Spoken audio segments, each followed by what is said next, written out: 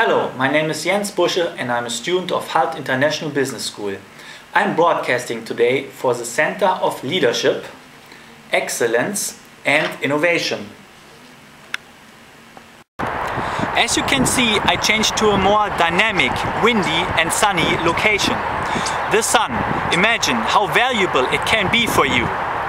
Um, by the way, there is a project called MSIP done by the BP Corporation. It's a municipal solar infrastructure project. It's really, really valuable.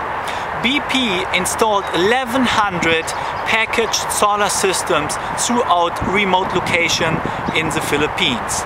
To be more precise, the beneficiaries of this $27 million project are the provinces Mindanao and Visaya. Um, these are particularly poor and um, unelectrified. BP installed within a four-year period um, solar products and services to improve the quality of the life of the population. Um, this is, for example, the lighting for schools and homes, telecommunications and freshwater drinking. This project is really unique. It is not as easy replicable as you might think of.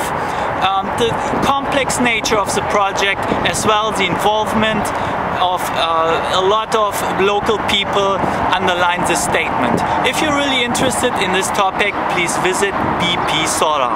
Again, my name is Jens Busche and now back to you, Susan.